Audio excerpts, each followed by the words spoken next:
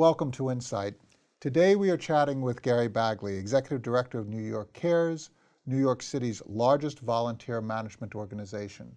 Gary has generously agreed to share some of his experience with us. I'd like to thank you, Gary, for joining us today. Thank you. It's great to be here. So tell us about New York City's largest volunteer organization.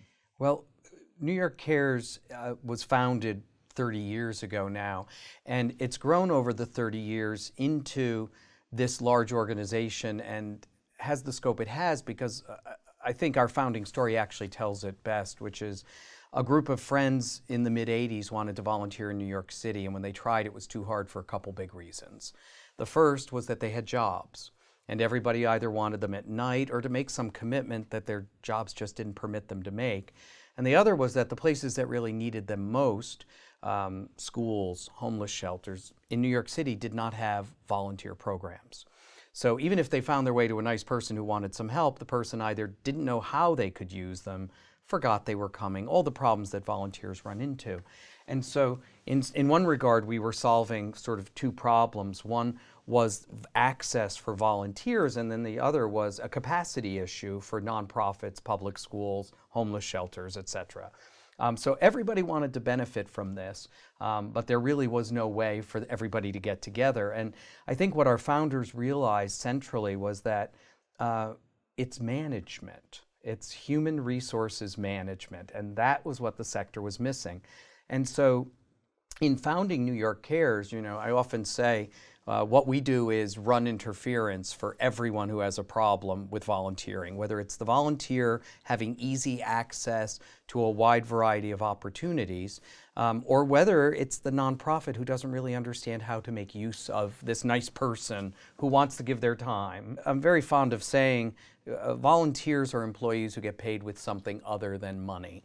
And what, what that really means is we have to figure out what the volunteer expects from this experience, what reward will look like, and then making sure also that just like we would with an employee, what you expect of a job as you're coming in is the job we're really offering, right? So that for both um, the community partner, very often the disappointment is the volunteer who's expecting more from a volunteer experience than they have to offer. And then everybody ends up disappointed. And just like in, a, in an organization, the volunteer, the employee ends up quitting, leaving, disgruntled. Uh, and they may not have had great expectations coming in, right? So we have to really make sure to be balancing both of those. But really, at New York Cares, um, our focus is on that reward and recognition, uh, just like it is with staff. Um, one of the things that we did uh, organizationally to really look at this is we developed, uh, this is now going back about seven years, um, what we have called our volunteer engagement scale. And we looked at volunteer engagement with New York Cares as an organization. And we only looked at three metrics. And one of the things that I think is so important in the sector for all of us is there are so many things we can measure. And sometimes we're just buried in numbers and we don't know really what they all mean together. And so we took the challenge and, and picked only three things to follow, and that was how long you've been with New York Cares, how much you do in terms of volunteer programming, and then finally, how much leadership you've taken. And we have a series of ways. We, our, our leadership model goes to scale because volunteer leaders engage teams every day. So every month, 15,000 volunteer positions are filled in the five boroughs, thanks to New York Cares, and they're led by a New York Cares trained team leader in the field. So we looked at this model and said, like the only this works only in a few ways. One is intensive training for the people who will represent us in the community, and then a system that keeps people coming back. So we actually defined six levels of engagement on our volunteer engagement scale and then developed a communications plan that's designed to push people up the ladder so that they'll go to the maximum level of leadership that they would like to take. How many people do you do, do you place every day? Uh, every month, 15,000 volunteer positions are 15,000 volunteers. Yeah. And how many locations is that? We're in 1,300 locations in the five boroughs And every year, by the way, we intake 17,000 new volunteers. Mm. Uh, the vast majority of them come through in person orientations that are around the five boroughs. And um, also, I, from a mission perspective, we also believe it's important that we walk our talk. And so, um, all of our uh, all of our orientations are led by volunteers. Um, they're our volunteer speakers bureau. And again, when you get to that question of what does this person get, you know, from this experience, and we find folks who love thinking and knowing that they're a representative of New York Cares in the community. And that they're mentoring other volunteers exactly. who might be their successor volunteers. Exactly. And some of them lead orientations and then they go run a, a meals project, an education program, a seniors program on the weekends. Some of them really fall in love with that leadership role and will run five, ten orientations a month for us, going to all different boroughs. So if you cluster your volunteers, and I know you, yeah. I know this is kind of an unfair question, so like if, those. if you're, and I know you provide volunteers along an incredibly broad front, but yeah. if you were to cluster yeah. um, these volunteers in terms of the types of work that they sure. do, um, how would they generally cluster in terms of, of education versus um, uh, services to, uh, to people in need? Mm-hmm. versus services to children, adults, and so on. How, how, how do you think about those clusters? We're, we're, we have started looking at, at three big buckets of work. And one is something that attracts a lot of people to volunteerism when they first come in, which is what we call urgent needs, mm-hmm. meal service. Um, we have a very large coat uh, drive here in the winter. We collect and distribute 75,000 coats through our volunteer networks in the five boroughs. So those urgent needs, and they add up to about 30% of our work. Um, the next portion is revitalization of community spaces, whether those are painting or gardening, working in schools and the parks, and that's about 10% of manual, our work. Manual labor. Manual mostly. labor, and folks do love it. And I, I, I have to say, I feel very good after an hour, an hour or two of weeding a community garden. I, it's, it's, it's cathartic for me. So I absolutely understand the people who love that work. And then, and this is, I think, in the New York market, what I, I always curious if people know this, but 60% of the work we do is education, starting in kindergarten and going right up through workforce development, language practice skills for adults. Uh, and one of the things that I think New York Cares always has to keep our eye on and making sure that the programs that we offer are of interest to volunteers is in many regards, you know, we're a, a good example of the curated experience, right? Our volunteers come here and they trust that if I click read at PS63M, early morning reading, that that is going to be an excellent experience and that New York Cares has done all the legwork to get you there. And then for the community partner for PS63, they believe that every person I'm bringing into that school has been prepared to come to that school and to read to kids. So as we start to think about volunteer expectations, right? On occasion, a volunteer expects, I want to do something once. And we go, well, it's not really appropriate to come read once, right? Right. We, we need to provide a longer term, you know, a, a consistent adult presence in this particular life. Now, if we're taking a group of kids, say from a homeless shelter on a field trip, and it's a one, then that's an appropriate one-time event, right? Because it's it, it is a one-time experience for the kids and the volunteers, and we can really line that up. But that conversation is is some of the more time-consuming work for us. Talk about the management infrastructure that's required for uh, uh, to manage so many people in so many different activities, which change year to year. You have a perfect storm of, of financial requirements, mm-hmm. uh, time management requirements, systems, yeah. certainly communication um, uh, tools like, uh, well, the internet, but connected also increasingly through mobile phones and how that all works.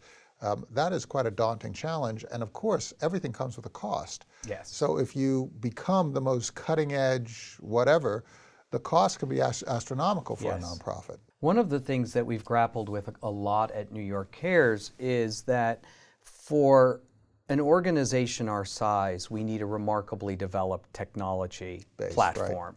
Right. Um, most organizations our size primarily have a storefront and the primary uh, website and the primary question is how are we speaking to the various constituents who might come here? And when you talk about your size what is your budget? Our budget is about 9 million right now. And how many staff? We have 72 full-time. We do use 10 americorps members. And as i say at any given time of the year we use a lot of part-time help. So the all staff email can go out to about 100 people. So a very constrained staff yes. to basically manage a workforce of 17,000 people. Annually. Well, and 62,000 people a year engage with us. So they bring in no, they bring in 17,000. 17,000 new, I'm new. sorry, new That's and then 62,000 uh, and train 650 new volunteer team leaders a year while providing technical assistance somewhere you know, uh, hands-on workshop training to about 50 to 100 nonprofits a year. It's important because you're you're an operating organization that sits at a very high leverage point. So this constrained budget yeah. needs to be very carefully managed. Things can get out of hand Absolutely. pretty quickly.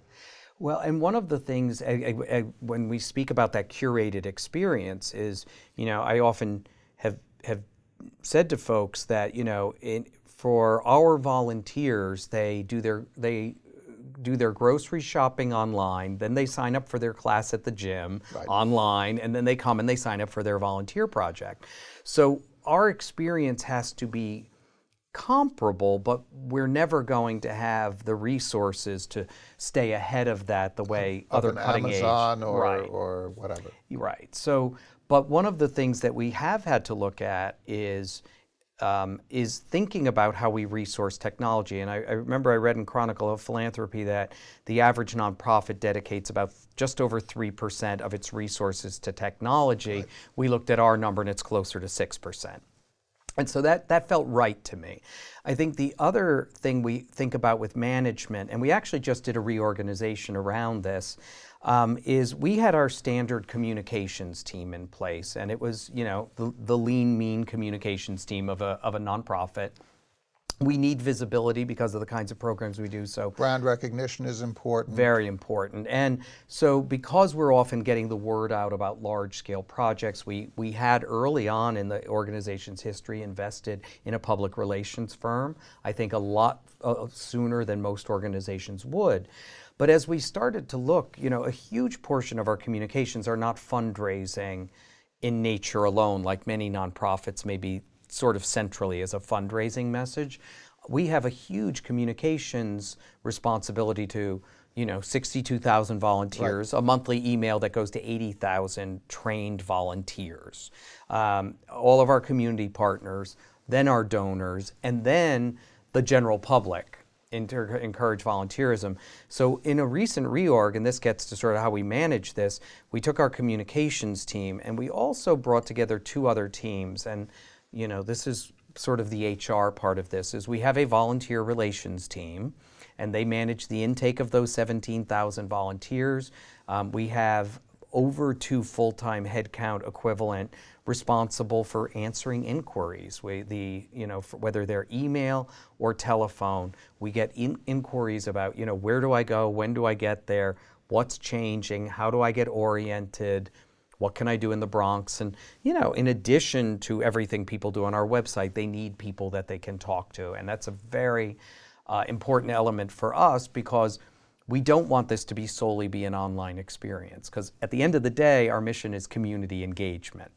And by the way, one thing we do know is that the people who spend longest with us do not come to us to meet people, other volunteers, but they stay because they enjoy that. So it's not their motivation, but it is one of those big benefits they get. So we're always trying to build that community. But so bringing communications and then volunteer relations, what I would call customer service, and our community partner relations together, as well as all the training and professional development, we brought that under one, um, one department or one division and then looked at direct service programming, the people who create the education programs, the, the parks programs, et cetera, they, they're in a, in a different unit. Um, and so right now we're, sort of, we're seeing sort of the benefits of bringing all those messages together, becoming more consistent across all the platforms. But uh, I think our single biggest question is technology and how we as an organization our size can keep up with adding new search functions, you know, uh, we uh, one quick example we we're finding that people weren't going to certain neighborhoods and Right. one of the and part of it was because people didn't live there and we added a search on the website so people could start searching by subway line Talk about your uh, previous experience because this is so fascinating. Uh, As, as we conduct searches for organizations like this one, yeah there are not that many organizations like this one. One of the things that's so interesting to me is I, I am a person. I was actually speaking to one of our younger staff members today, and she's talking about you know wanting to try this, wanting to try that, and I was like, I think that's really important. And just to be very transparent, I spent my 20s doing a different job every couple of years while I figured out where I really wanted to be in the world, and you know that included everything from you know auditing a hotel to being a trainer uh, for you know at investment banks. And now i look back and eh, you know everything i did uh, led sort of perfectly to where i am today. Um, i did go back and get my master's in public administration feeling like i wanted to get a better view of the social services world and decided to go out on a few interviews and try them out. And i saw the job spec for new york cares and i thought well this is a great job. Um, and i I'm a program director, and I had started at New York Cares as the senior director of programs before I got promoted, so um, into my current role. And and so I thought, well, I should go talk to them and see, can I do this? And uh, and as it worked out, um, and I, I found the right boss for me, and uh, you know, someone I would call a mentor and a friend. Um, who also came from a totally different background. So, talk about wonderful life training. Her background, MBA, um, had been the COO of an organization. So, just came from a totally different angle and ended up just being a really wonderful partnership. I would say that um, in addition to my board being really wonderful, and of course I think they're wonderful because they promoted me, so I, I think they're they're geniuses. But they, um, but but they they like the organization. They were willing to see the internal candidate as a 100% viable solution. And you know, not only took me seriously, obviously, but were very respectful and, and really looked at the, at the assets I brought. I think the willingness of New York Cares from the board level, my predecessor, to engage different kinds of thinking, different kinds of talent, and then that's what we do every day with volunteers. We're trying to find many different ways of looking at talent and many ways you want to engage with the community, and we're trying to think about how to utilize that, Right. not direct you into where we want to force you to go. So I, I feel grateful that I found my way to New York Cares, and uh, I think of my my job mainly as being not breaking, you know, what is not broken, and as a as a wonderful organizational culture. You also provide consulting services. Talk about the consulting services that you provide to other nonprofits who might also have volunteer programs.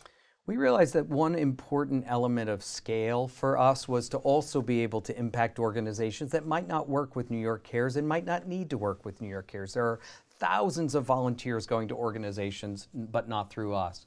But because our mission is 100% volunteer management, we've developed systems and, and de- dedicate our full resources to implementing them that a lot of organizations have one person uh, to provide. So we started with a program called VIP, and in, during VIP, we have eight training sessions, beginner, and then eight training sessions advanced with you know, a chance to learn online and then to collaborate with your peers to develop systems. And really, uh, it's an first, it's amazing to see how all those volunteer managers at different organizations, how valuable it is for them to get together because they all have the same problems, to hear that there are solutions, uh, to have a forum to think how these solutions and practices translate to their specific environment um, is, is tremendously valuable. Um, what's interesting for us is we also found the organizations that we already work with that go through VIP actually start using us better and more strategically. And we do twice as much programming at those organizations because they've figured out how to better use the resource. And then our volunteers like going there even more because the volunteer manager that we provide is better, the environment is more welcoming, and volunteers are being used more effectively. And a very practical curriculum, a curriculum that you cannot find at any university. Right. You can't find it at a community college. You have to go to those people who have the experience of volunteer management to learn this, these types of skills. I think of volunteer management and fundraising as being two of the things that people in the nonprofit sector do the most and where there is the least training to do them. You know, most most organizations start as voluntary groups before they even become a 501c3. And we spend so much of our time doing that which we got no training in. Uh, so I, I, I first, I'm glad New York Cares provides a service, and I hope that more universities, colleges, companies start providing more training on volunteer management. A huge portion of our workforce is voluntary, and we need to really start thinking about how we how we make sure that we recognize it as being necessary, not just a nice thing that people do, but really necessary to the health of the sector.